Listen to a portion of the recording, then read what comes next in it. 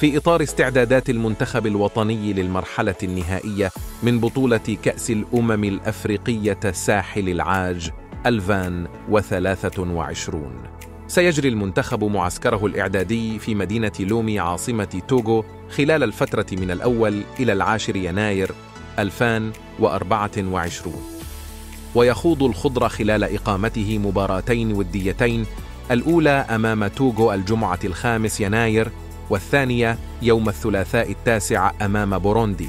وستصل بعثة المنتخب الوطني إلى مدينة بواكي بساحل العاج يوم الأربعاء العاشر يناير. حيث سيدخل المنافسة يوم الاثنين الخامس عشر يناير ضد أنغولا على ملعب بواكي الساعة الثامنة مساء عن المجموعة الرابعة.